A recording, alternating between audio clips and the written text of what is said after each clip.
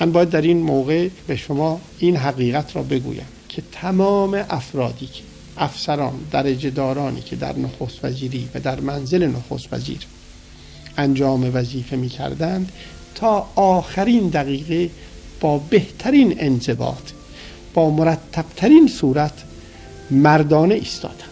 و پیدا بود که سران ارتش ما نالایق و خیانتکارند. بله ارتش ایران و مردم ایران اینطور نبودند